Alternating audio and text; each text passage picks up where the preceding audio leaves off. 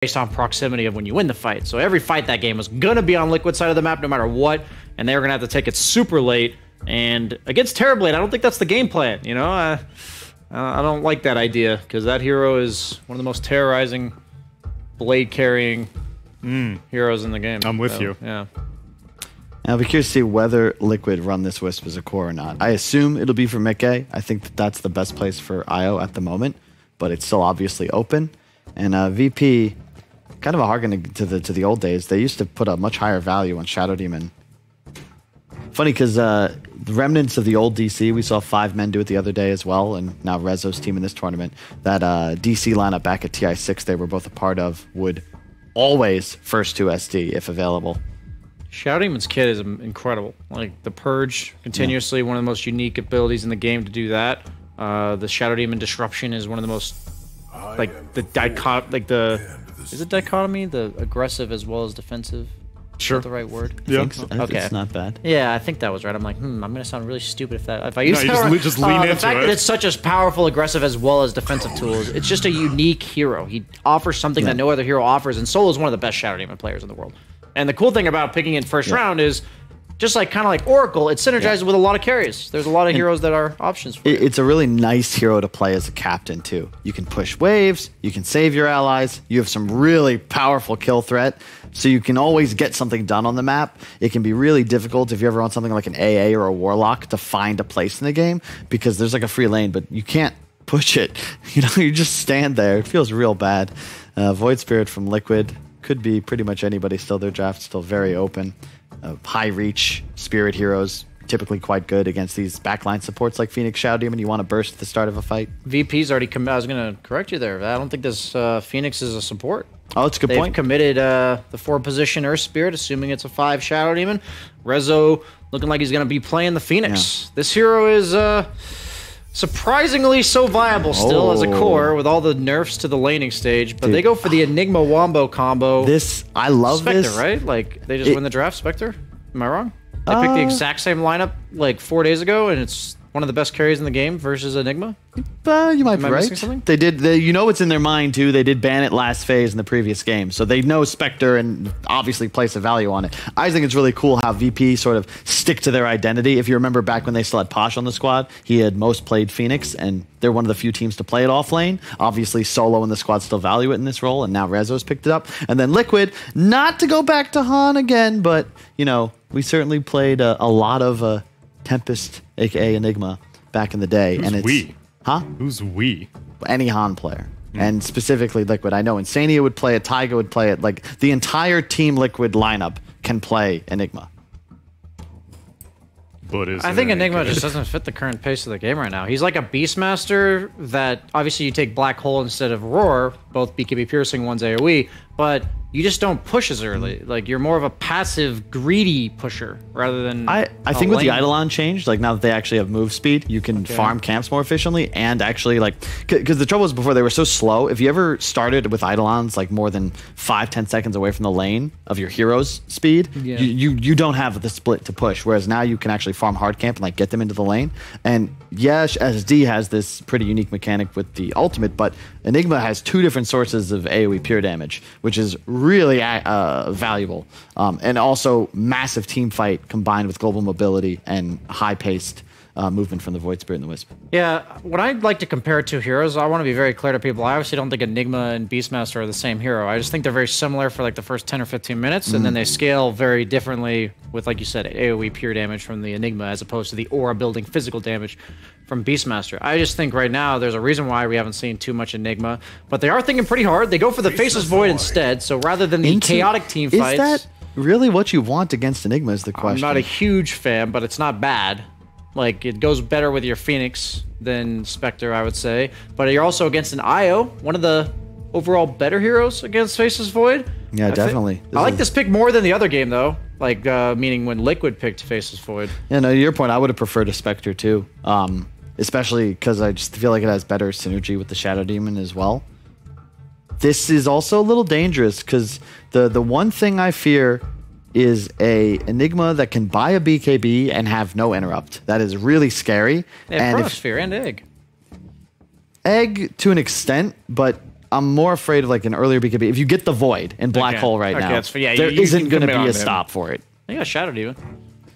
defensively. I'm saying, yeah, you can like if he only gets the void. I feel like it's a pretty hard. Cr- like you, you argue that yes, once he gets BKB, he could black hole the void, but they're also. I feel like they could black hole the void, and if eggs on the ground and Earth Spirit magnetizes rolling, and whatever hero no one picks, which is going to be some backline spellcaster, we see an invoker already banned. That it may not even lead to a one fight. That's the thing for me. And if Void ever gets an Aegis this game, suddenly the win condition for the fight doesn't really exist. I think. Do you disagree? Well, yeah, or- if everything went wrong, it could it could go wrong for Liquid. Well, I'm saying You're right. Well, no, what I'm saying is like me. you you are implying that if he gets the black hole off on Void, they win the fight, and I'm saying that's not the case. So it makes it like I don't like that kind of game for Enigma. I like where if you do get that black hole on the crucial Yeah. target, fight is won. okay, So why can still isn't, go wrong, why isn't. Enigma particularly popular right now then? Because this hero has only been picked six times in this tournament. In in the European division, it's been picked like twice. And overall, it seems like Beastmaster's just oh, better in most Uh, circumstances. same, same, like what Kyle mentioned about Nature's Prophet. You get like three tier ones in the first 10, 15 minutes because you have these fast tempo pushing heroes. Enigma's just five five minutes slower than these guys. yeah, the same thing. I, I will say this is looking like a progressively harder game for it for an Enigma because you have all this high tempo that VP can play with. Earth Spirit, Void, Quap, like they just move around so quick. Enigma likes to be able to chill, you know, just kind of camp a lane. You want to play against heroes like Bristleback, you know, you see him TP and you're like, ah, that's fine, it's chill. I'll just walk away real quick. But Quap off map is effectively always a threat, and when you have an Earth Spirit on top of that, you're just always going to be in danger. And typically, you want to just kind of play in the off lane, push lanes by yourself, farm some jungle camps as well. You don't have that freedom, but ooh, baby, the Lycan comes out, Liquid going for like the all-in push. A flip of the previous game in a way. One team more in on the late game, the other trying to end fast.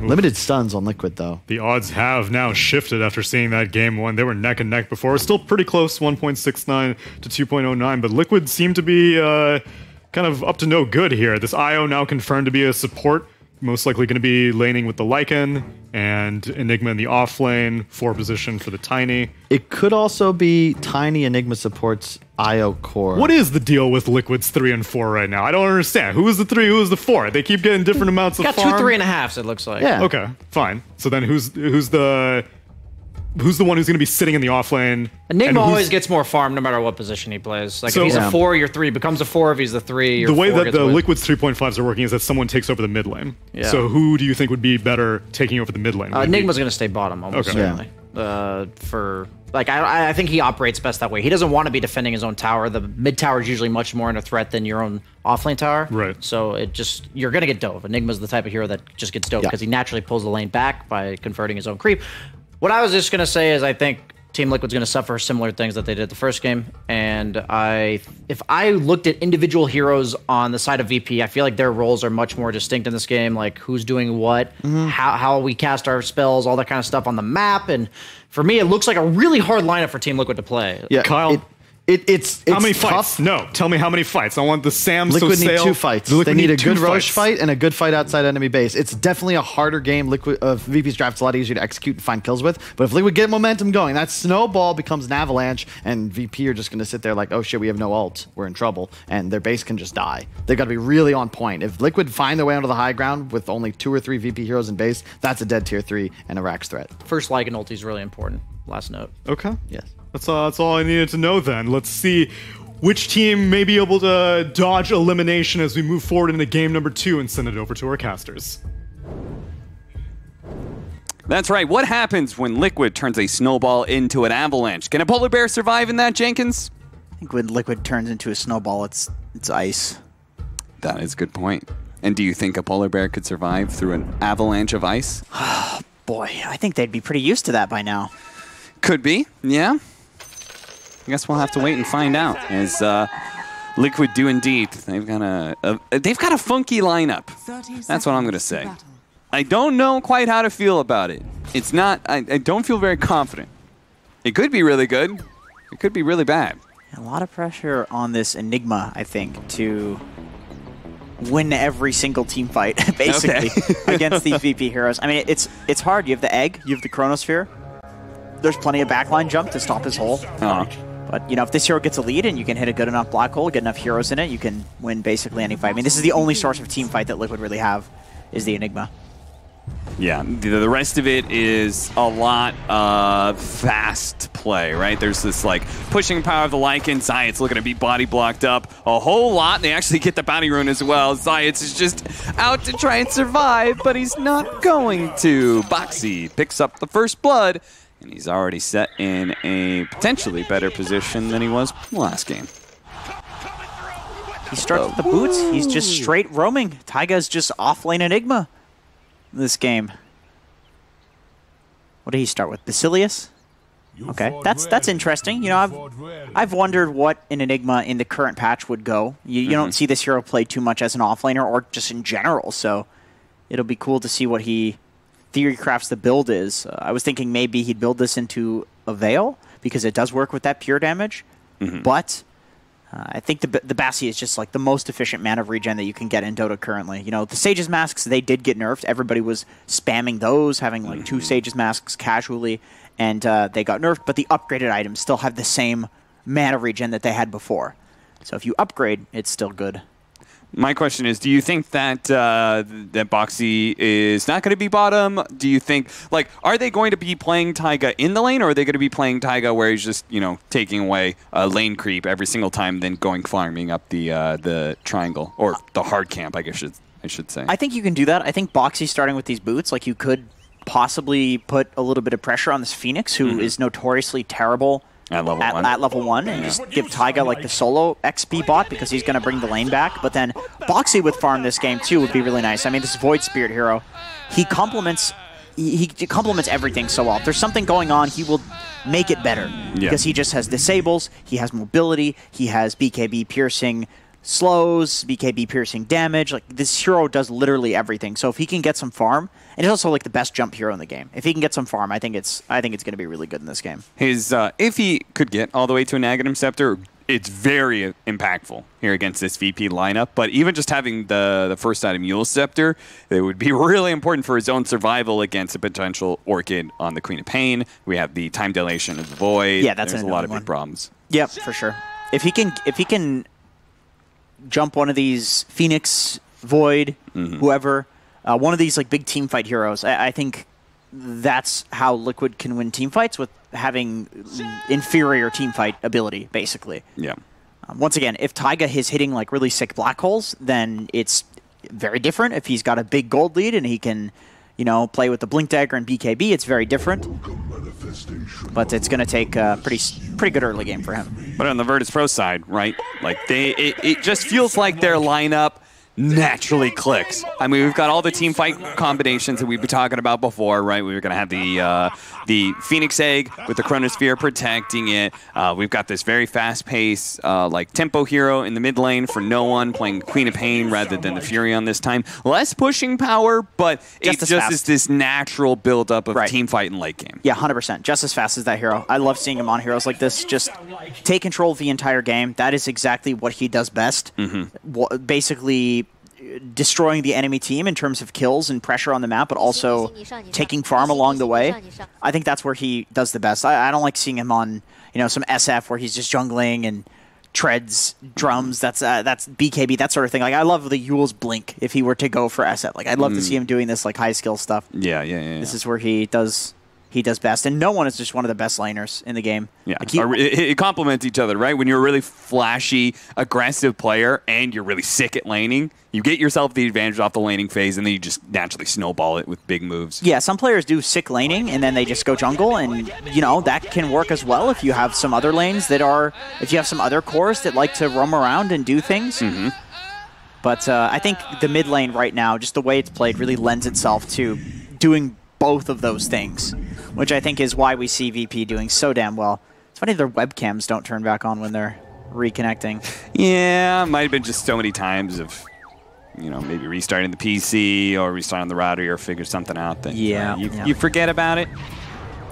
This is cool. I, I, think I think this is good. Playing with the Void Spirit. Yeah. And just doing this combo kind of like OG where they have the support and then the Wisp is a core, except you're just combining the two supports here and zoning out this level 1 Phoenix. So Zayats, he goes for the creep pull. This is what you have to do. see, even Mickey was uh, thinking about making a move over, see if he try and help catch Zayats here. The Remnant does manage to pull him back in. Zayats, Insania trying to get in front of him a little bit. He's going to go for the kickback. He's only pulling half of the creep wave here, so this is not too bad. And it's uh, for Liquid. It's going to be even better for Liquid if they can actually get this kill. It's going to be up to Boxy, though. Zayats, is he actually just suiciding right now? I thought he was maybe going to suicide to the tier 2. No, he's going to cut up, but that's where the Aether Remnant is going to catch him again. And this early, early tri lane is beginning to pay off. It did give Resolution I was gonna say- to get level 2, though. I feel like this is good, great for VP. This puts Resolution solo against a Mickey Tiny. Like that, Phoenix is fine with that. Mm-hmm. You're just sitting there and getting XP against a tri lane. That's not supposed to happen. But Liquid has to chase the Earth Spirit, otherwise he cuts that wave. I think that's amazing, an amazing play from VP there, just to do that and waste so much time. If he dies immediately, it's different. But Yeah, the way he pulled the, the creep wave, the, some of those creeps back now just means a big wave is going to be pushing into the Phoenix Right. again, and they're just going to get some levels. And here's the smiley from Resolution. And Phoenix got level two because he only pulled half. I was sitting there thinking, why the heck is he pulling half the wave? Because Phoenix probably got denied on the first wave because there's Yeah. a tri lane. Mhm. If he has two creeps, he's level two. Now all of a sudden it's way harder to tri lane against him. Yeah, I think he actually got two different creeps that denied at least, because he barely had level two Yeah. with a, a wave and another two. Oh, we can actually see. So six six creeps from Mickey's. I, I would imagine that he probably got a deny or a couple denies on the first wave, Yeah. considering it was way freer than these ones. Yeah, super well played by VP so far. They know their early game, man. Like they, they really know how to get the most out of like the one to two minute mark, which And, and that was always about- Virtus Pro to a T, right? Snowball lanes win game. Yeah, that is literally yeah. That's what they did when they were in their in their prime with most of this same roster. You know, Yeah, so I have to wonder if that's something about the leadership of Solo that he, he tries to really uh, focus on those things, hammer them home, or if he's the one perhaps bringing them to light. I mean, he is the only guy that's picking SD. Like this hero's not really picked that much. It's just the occasional like A or B tier pick for. Yeah, like oh, Luna got picked up. I guess Shadow Demon's Oh. Terrorblade got picked up. I'm going to pick Shadow Demon. It's, Yeah. But he's just like, no, this is a good hero. And I think that hero lends itself to doing extremely well in the lanes. Like the Shadow Poison, extremely powerful against certain heroes. The Disruption, powerful against other heroes. Pull back here on the Phoenix, and they do manage to burst him down before he could get the dive away. Very important kill, because as you said, he was getting those levels that uh, he wanted to get. Taiga, he calls in some reinforcements from Boxi, so they get that one kill, say, okay, we're going to stop tri-laning here. We kind of did what we came to do, and Boxi will join Taiga in the duo once again. That Boxi's got the Orb Venom, so he can slow him down. But Oh you just- my god! Uh, what was that RNG? Like, you know, he might have died anyway, but seriously, what was that? Level two. Man, I don't know. Sometimes Void just looks like Faces Void can look like a bullshit hero. Like that makes him look. That makes the hero look like he's great at laning. He's he is really not the strongest Oh. laner. Sorry, I, I just thought this was this was cool. Uh, so Lycan, Lycan's like a Dragon Knight, right? If you're Sure. opposed against a, a hero that wants to move around the map, you're threatening his tower. So maybe this Quap won't want to move around so much, but Lycan's even cooler because he throws a wolf to each one of the power runes. Might be able to deny the rune as a result. Yeah, very nice. Do similar thing on Broodmother. Deny those runes. Yeah. Taiga, quickly surrounded here, is going to get a decent amount of damage on ILTW. They eat the Remnant. It misses on both of them, too. So they don't manage to get that counter kill. Two to three now. And it's Virtus Pro. Picking up some kills in this bottom lane. Have a nice little stack here. Yeah, the SD is really nice setup for the Enigma. I mean, the hero literally just walks away from you, right? So Yeah. getting the void right on top of him and the illusions to body block, there's not really much Enigma can do. You can't he can't just like leap away. He doesn't have a blink. Doesn't have a, an AOE disable, anything like that. Mm-hmm. You surround him by units like that, and there's not much he can do. What I find a, a little bit awkward here is we're going to watch Boxi miss out on a bounty rune because of that disruption. At least he got the one that he was on top of, but obviously the other one, Solo will collect. The, uh, damn, what was the point I was going to make? Oh, he kind of has to get BKB because of Earth Spirit, right? It's just such an easy way to, uh, like, just throw the boulder down and silence Yeah, him. hundred right? percent. You there's there's no other choice really. Or I mean, you can go for the aura build. That, Uh-huh. but then I feel like you might lack team fight. You're really banking on snowballing the towers, which can happen. I mean, they do have a Lycan. They do Oh, have a yeah. Lycan with a tiny safe lane, so they can definitely snowball. But it takes oh, a oh, oh, still gets him with the disruption. That's probably going to be a dead IO. Mickey will try and protect his support as best as possible with the Avalanche. It catches Resolution mid-flight there, so that was perfect. It actually does save him. If anything, they're going to get the kill onto Solo with that nice toss back. Insania helps him out with the damage, and they get the kill. Nice, Nice. response from the Liquid duo here in the top lane. They're going to maybe get a second one here on the Zions as well, who doesn't have the roll up fast enough to get away. Second kill. Now toss forward. Resolution doesn't have the dive. They're going to try and put Boxi right on top with the Avalanche as well. Three what a big turnaround. Uh, that was supposed to be a simple kill onto the IO, and it turns against Virtus Pro. They lose three. Man, I mean, speaking of snowballing, this is exactly how they want to start out in this game with these two extremely fast cores in the Lycan and the the Tiny. I mean, Uh-huh. Enigma's really their late game hero in this game. So if you can snowball these two cores, make space for your Enigma, I think I think this game's looking great for them. Liquid's they're looking good in this one. The odds were a bit different, by the way. They um a little bit more in favor of VP, but Yeah, people are. I saw that performance by Virtus Pro. It was very convincing. After the start, though, I wouldn't. I don't know if I would agree with those. He has the hole. I just have mana for it. Yeah, just trying to get some damage in. May still be able to run him down thanks to the help of that wolf. He disruptions himself to try and buy a little bit of time, and the Chronosphere actually catches most of the Eidolons there and stops the damage that would have finished off Solo. It did cost, them the Chronosphere, but if they can get the second kill, it'd be nice, but can't stick onto him. If they give Enigma any sort of extra regen or base int, I think he's going to be a good hero. Like this is Enigma's biggest problem: is you use one spell and you can't use hole. You need mana boots. Yeah. Like this hero does not function without mana boots, and that is a really scary requirement to have in your hero. Here's what we were talking about. Uh, as soon as the Queen of Pain leaves lane, qojqva immediately threatening tower with the early Necronomicon pickup because you can do that as a Lycan. Now he's going to try and kill Solo here. The disruption was used after all. This is a freebie, and you can go back to hitting that mid tower. They still have in the top lane this Queen of Pain trying to go for these kills. As he loses his mid tower, he has to get these kills. And he does manage to get Mickey at least. Insania, less important, but probably just as likely to go down here as he has no tether escapes really. Back in the lane he goes, but I'll just take out. Bottom lane, there's the black hole, and they do manage to get that faceless void. Boxi still trying to help him get out of this sticky situations. The Eidolons are taking up the towers. Here comes the Phoenix. He's TPing in. Can he get there in time? He's not actually going to go for the Enigma. I think maybe he could have dove. It would have been a close call, but he's not able to catch either one as a result. In fact, Boxi, he's going to turn around, see if he can kill Zayas. They're going to go for it. Dissimulate. It hits him. He reads it correctly. He reads where Zayas is going to be headed, hits him with a dissimulate, finishes him off. He may die here as the soul catcher with the burn damage is coming in. Disruption. Boxi, can he help him out? Malphus. Here comes the heals from Insania. The soul catcher's going to wear out. He gets a little bo- bonus of HP, and now Boxi turns on a solo. Another TP coming in from Zayat. All of these. Boxi, he has dissimulate. He goes down to low ground. Oh, he doesn't actually go down to the river. That's where no one was going to be, but he does head into Zayat, who stops that TP pretty quick. Yeah, I get. I get why he went that way. No, Uh-oh. no I one think- was coming in. I think Taiga TP. Oh, he didn't TP. He needs in. to TP. He, needs to get out. Okay, he's good. Pick the right place to juke to. Boxi, unfortunately, didn't. You know, just a bit of RNG there. Taiga gets out, and you know, really, he's the core in this game. Anytime there's an Enigma in a game, he's the he's the late game carry. This hero can one v five if uh, he gets a good enough hole. Yeah. You want another uh, insane stat here, Janky? Yeah, hit me with that stat. The uh, this tiny contest rate eighty percent in this tournament. That's I- pretty insane, right? I think that's fair. I mean, so you would expect a hero that's so popular, picked and banned, right? That it would have a acceptable win rate. You would think so. You're gonna watch him dying to the supernova. He's very, very dead. Uh, 62% win rate. Yeah, that's that's quite high. Yeah, that's very That's high. that's that's very high. I, I thought it was going to go the other way. no, no, no. we can no. see here why he's got such a, such a high win rate.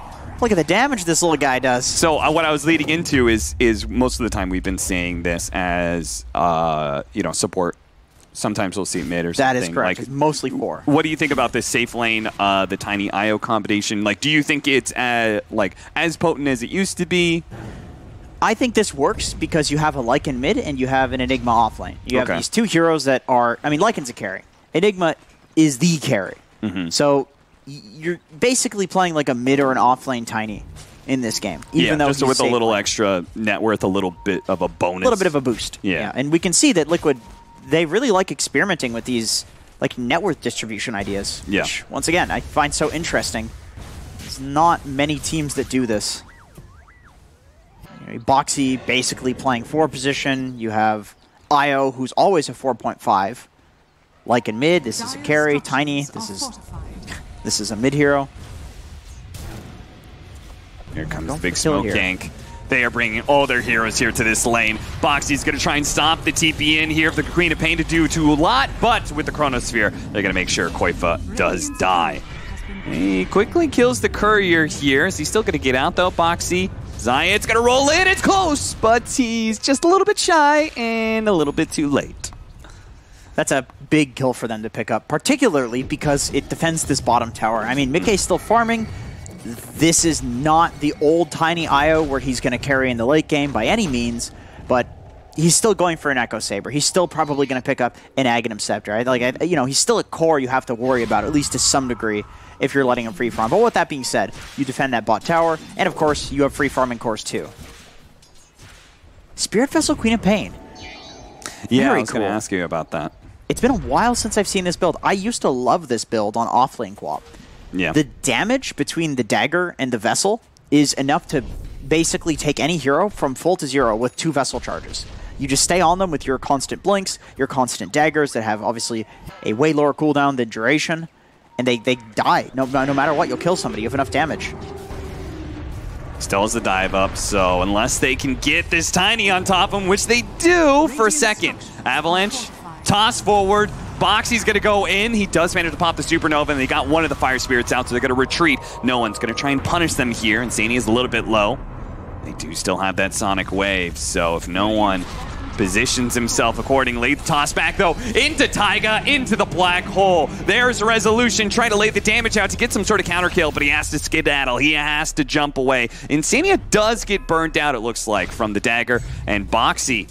He goes down to Zayat, so they actually get a decent response from Virtus Pro, even though we just watched the Queen of Pain die. But if you're liquid, you get the tower. So I think that's the more you know primary concern for them. Is this frees up this bot area for Enigma to farm? And it's so annoying having a summons hero down here. We saw this with Beastmaster in the last game. Careful solo of all those Eidolons. They do a lot of damage. He's going to go for the TP out, and he will just make it. Solo, let's see if he survives through the Eidolons. He will not survive to Boxi. That is the real killer right there. Now they're going to relocate in Resolution. He dove out, and he's got Tranquil Boots. That'll help him get some distance, but not far enough, it seems. Tossed up in the air, and another Aether Remnant for the catch. Boxi Doing a really nice job on this four position. Uh-oh. Back into the top lane they go, though. Insania pulled Mickey in here. They wanted to still be able to fight it out. Tossed up. ILTW quickly time walks off the damage. Mickey looks to be able to stick on top of him with the Avalanche. Now, the Chronosphere is coming up in a second, so Mickey, he's got to be careful, especially with no one closing in. The Lycan, he spotted all this with the Wolves, and he's going to pop his ultimate here. Zayats has committed his roll in, and immediately the rest of Vertipro's like, nope, that's a level 12 Lycan with the Necro 3. Boys, it's time to leave. It's time to get out. It's time to TP away. No one. He makes it out. Time walk over to the other side of the cliff. Looks like uh, ILTW. He knows the danger that is present when the big bad wolf is out.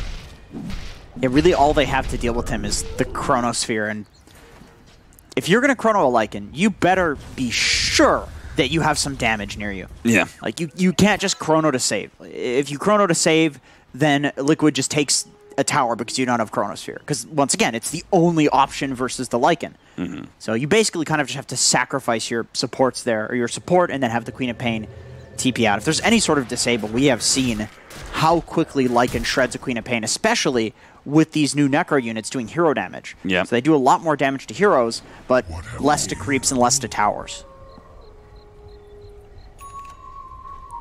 Feel like Lycan's another one of those heroes that doesn't care super much about that change, just because very likely he'll take that tower anyway, even with the loss of damage on buildings. Yeah, I mean, he, he hits heroes with the creeps as well, so... They're going to try and deal with this supernova really quickly. Turn around, kill it. The sonic wave goes out. It takes away Insania. Mickey He's on the run here. He's got some heroes around him. Boxi's going to make his entrance. Does decent amount of AoE damage with the buyback coming in from the IO to help bail out Mickey, but it's too much. The Chronosphere, he's beaten down before Insania can give him the helping hand in the heals. Insania, is this going to be a dieback? The roll in from the Earth Spirit. ILTW is able to stick on him. Double kill there from Zayats, but he will die underneath this tier 2 tower. The bigger thing is we had ILTW get out, TP back to mid, and continue to farm.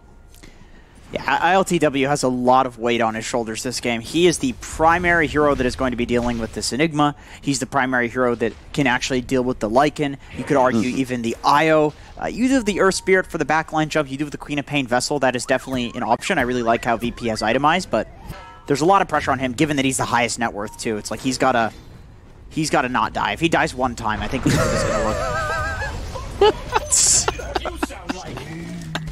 It's such a solo thing, isn't it? yeah, it really is.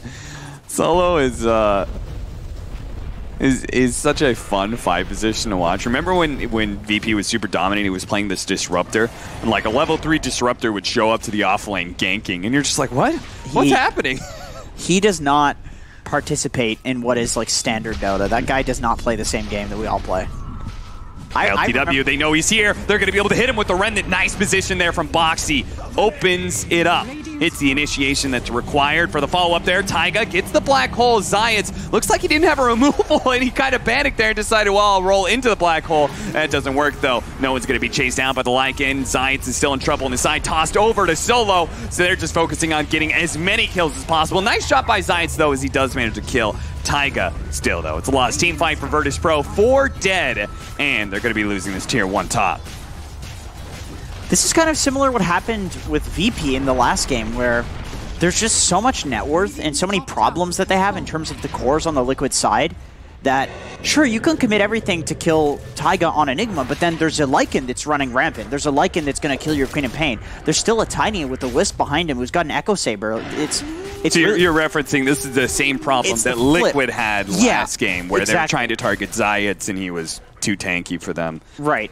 It's it's a, it's a mirror, and so maybe they go with the Liquid solution. They try to hit a big Chrono. Okay, misses the Aether Remnant. Well, they won't have that Chrono for another 10 seconds. Still and playing it, very aggressive. Mm, just trying to get in there. Looks like they want to take this safe lane tower while there is big cooldowns, right? No relocate, no transformation, no black hole maybe a kill onto Boxi here, but it's a little hard to catch him uh -oh, with the Astral Step. And now Rezo, oh, gets off the Supernova, trusting his team to be able to protect him here, but they're not going to be able to. The Chronosphere, it comes too late. It was going to be so pretty. They're still managing to kill Insania, though, but it looks like Boxi's going to man up and see if he can kill Solo. Solo had tons of stacks on him, though. A bunch of Magic Wand charges, but Boxi's still going to be able to catch up to him, trying to jump away with the Dissimilate. Still has an Aether Remnant that manages to catch this Faceless Void, but he jumps right into Boxi here. No bashes just yet. Boxi, Astral Step. He's got another Aether Remnant. He's got his Eul Scepter. He can Eul Scepter the Void. Astral Step in another two seconds, and yeah, they're going to give up on this Jace. They can't catch him. Boxi. That was some big boy play right there. Nice juke. Those were very nice jukes. Uh, somebody should clip that. That was very nice. I'm really impressed how he keeps on hitting these Aether Remnants right next to creeps. Yeah, no, he's like, he, he's putting them at really interesting angles. Yeah. Like, he's clearly very practiced on this Void Spirit here. Like, Boxi's got to be a Void spammer. Which is funny because you, you see him playing so much Puck. You'd think it's the only hero he can play, but he's destroying this game. MiCKe finds solo here. And with that kind of pick off, they're going to feel good maybe about going for one of these tier twos nice and early.